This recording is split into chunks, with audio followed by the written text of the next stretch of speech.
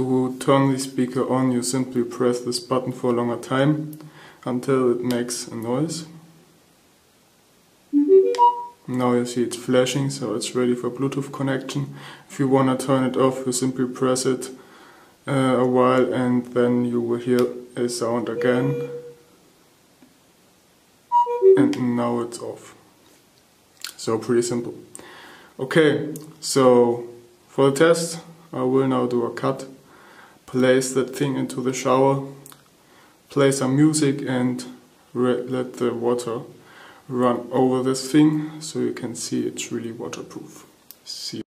Okay, I have now connected the speaker through Bluetooth to my phone and the phone volume is at 100% and the speaker volume is around 75% and I will now start playing music.